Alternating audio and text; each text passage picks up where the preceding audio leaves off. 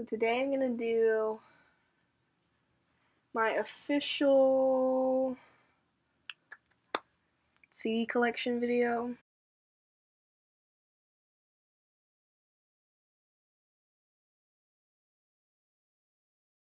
As of June 20th, 2015, this is my CD collection of CDs I've actually listened to. And here, these are my piles of CDs I need to listen to, so I'm going to talk about these ones up here. The first one I have is American Fangs, American Fangs. Their self-titled album, I guess. It doesn't have the booklet, the thingy, like the cover, because I hung it on my wall. One is Abandoned Pools, Armed to the Teeth. This one I was actually really surprised by. It's slower, but it's not to the point where it's like boring. Of course, bangers. This from Amazon used, which is why it has the a crack right there because if I were owning it, there would not be a crack in it. But yeah, she's Bey, and this album is perfect, and I love her so much. She's my favorite person in the entire world. Because the Internet by Childish Gambino, I sampled a little bit of it and I was gonna buy it on iTunes. And then I was at Target like a little bit after that and I said, you know what, what the heck, might as well just buy it. Best of Both Worlds concert. The uh, This is like the DVD CD thingy. Then I have the Breakout Platinum Edition. So it comes with a DVD and a CD. Okay, this one, I honestly expected it to be a lot more Demi Lovato and Jonas Brothers and a lot less people who you don't care about and who sing terribly. Because there's, there's like four good songs out of the 12 songs on here. Actually, so disappointed by this. Now, of course, Can't Be Tamed by Miley Cyrus because she's my favorite person, if you couldn't already tell. Um, I actually got this for my birthday. I got it from one of my friends. Don't Forget, which I also got for either my birthday or Christmas. I love this album. I like Demi Lovato, in case you couldn't tell, but I'm not like a huge, like, I don't consider myself a fan just because I don't have, like, I only, this is like the only album I have. Gotta Tell You by Samantha Mumba. She's some like crazy Irish singer or something. And I was also disappointed by this. So this album is a little bit too much 90s singer for me, like the high-pitched voice, like Britney Spears, high-pitched, like can't sing nasally kind of sound. This one I was also really surprised by. This is um, Greed, an EP by Pure. They broke up. They don't make music, sadly.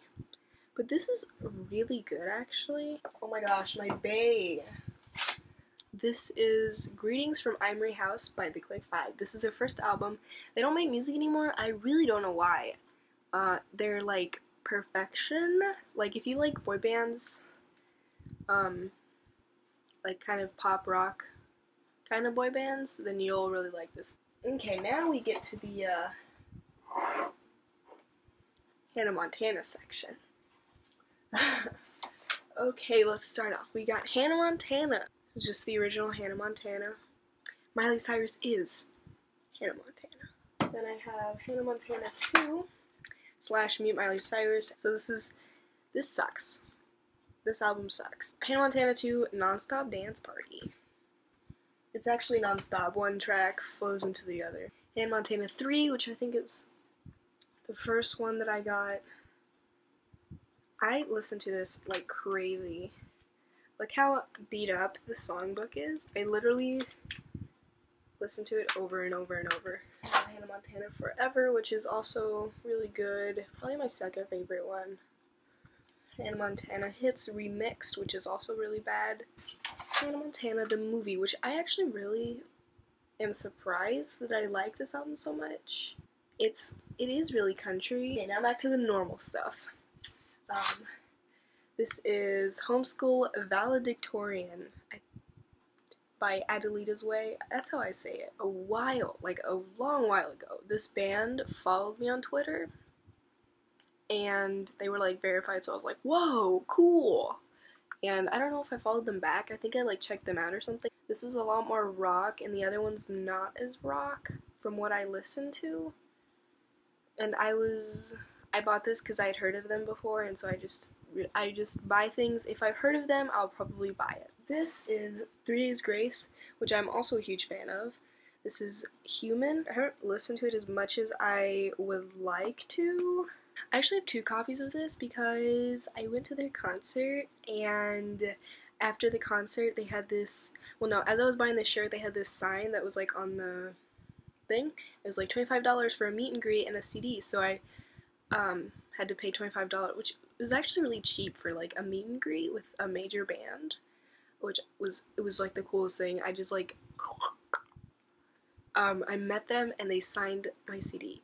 But that's actually I didn't put it up there because I, I felt like I'd like ruin it. Okay, and this is the used Imaginary Enemy. The used is actually really good. I don't have any other albums, but I've listened kind of to their other stuff. Um, I need to get into them more because they're really good. This is really hurting my neck. It's Aly and AJ into the Rush, and they actually changed their name to like 78 Violet. They actually are really talented, talented, but I don't know. I guess they're okay. I just need to listen to it. Um, this is Kris Allen's self-titled thing. Kris Allen. I really don't think this is for me. I let me give it to my mom, maybe. Okay, and then this is my other favorite Bae of all time. Sleeping with Sirens. Oh my god. This is madness. This was released this year. I got like a magic poster thing with it. Awesome. This is Hilary Duff Metamorphosis. Okay, I don't really know what's going on with me because when I first listened to this, I just, I just, I heard it and I was like, wow, this is off tune, this is terrible, I don't know what she's thinking. I don't know what I was thinking because I really listened to this and it's not even that bad. Like, it's really good. I don't even know if my ears were just like broken or something. I got Millennium by Backstreet Boys. It's okay.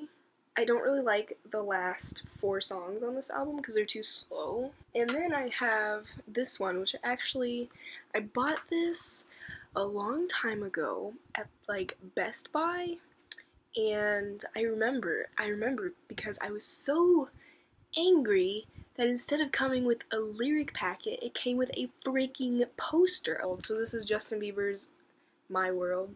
No matter how much you make fun of me, I will still jam out to this because this is friggin' jammin'. And I have my other favorites of all time. Uh, Night Visions, Imagine Dragons. I bought this for my dad for like Father's Day, and I was like, oh no no, yeah, it's for like both of us. Like you can have it, but like I'll have it better. Um, this one I bought because I was like looking through the CDs, and I was like, wow, I really need to get into more like punk rock. And so I was like, hey, this All Time Low dude, I've heard of him, right? So I like, I was like, yeah, sure, why don't I give give it a try? And I remember buying it, and I walked out of the CD section. I went to go eat, and I was like, I'm gonna open them up right now because I'm so excited. And I opened this, and it like completely broke. So I went back to the lady. and I was like, Hey, can you fix it? And so she like completely changed the jewel case into like some other thing. so yeah, Pull and Repel by Ashen, who only has two albums and stopped making music. Um, this is awful. This is so bad. This is gross. Absolutely appalling. Um, the only instrument that you can hear in this album is the snare drum. There's so much snare drum in this, it's not even funny. I can't even deal with how much freaking snare drum they have in this stupid album. Ran real quick into the thrift store, I was like, I want to buy a CD. So I bought this and I took it home and so bad. This one is just an album with remixes of See You Again by Miley. This is really gross. I thought it was going to be good, and it sucks. Here's we have Smoke and Mirrors right here. Whoa, that was really... You only get these four tracks if you buy the CD. Only available at Target. It's like, don't do that. We got BBC Volume 2 Number 1, Music, and month-by-month collection of BBC classics. And this is Symphony Fantastique?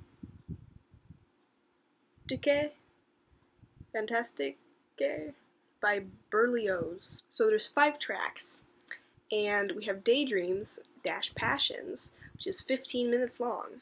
We have A Ball, which is 6 minutes long. We have In the Meadows, 15 minutes long. March to the Scaffold, which is 6 minutes long. And Sabbath Night's Dream, which is 9 minutes long, making it 53 minutes long. Five songs. Okay, so basically, I what I think this is is this is like a symphony this guy wrote, Berlioz or whatever, about this girl that he liked. Like, basically. And so, here.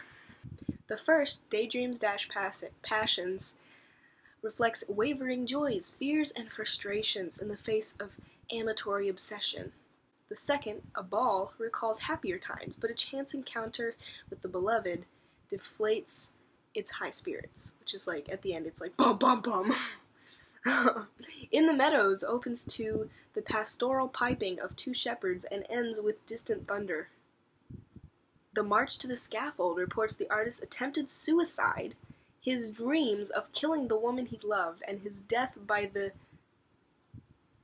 guillotine a machine with heavy blades slicing vertically in grooves, used for beheading people. That thing to, that they used to chop people's heads off. Sabbath Night's dream finds him among spirits, sorcerers, and monsters, preparing for his own funeral.